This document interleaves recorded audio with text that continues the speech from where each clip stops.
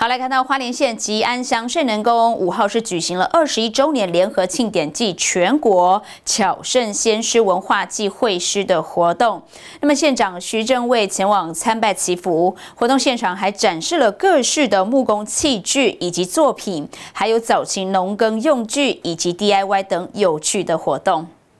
位于吉安乡圣能宫的主神以巧圣先师、红军道祖、荷叶先师，供信众来参拜。五日举行一一一年全国巧生先师文化祭会师在花莲暨圣能宫二十一周年公庆联合庆典祈福绕境活动，县长徐正伟也前来祈福，恭贺圣能宫二十一周年庆典。无论是我们木作，无论是水泥泥作，无论是我们钢铁建材，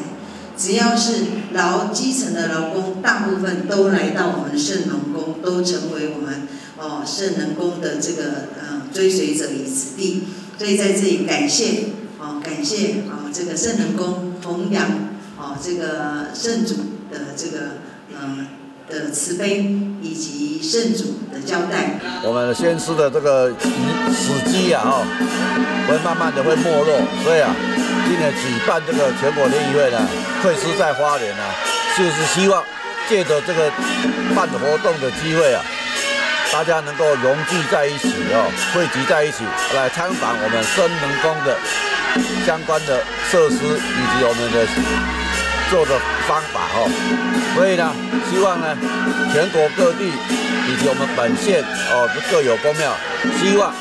借着这个圣诞的日子哦，能跟我们花莲社能够来做一个交流，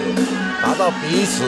交流的一个目的哦。这是我们今年举办一百一十一年度哦，这个小圣先师联谊会的重要目的哦，而且来自全省哦。一百一千三百五十个人哈来到花莲哈，也促进我们花莲的一个地方观光哈，也促进我们花莲的一个地方产业哈。希望借此办的活动的机会呢，能够把发扬推展出去，把花花莲呢继续往国际城市来迈进。全国巧生先师文化祭活动在花莲，吸引全台有功及信徒超过千名来朝圣。即日起展示各式传统木工器具作品及早期的农耕用具和相关文化体验等活动，期盼让从事建筑、土木等行业的工匠文化精神得以延续，也期盼促进花莲观光产业的活络。记者蒋邦彦吉安乡报道。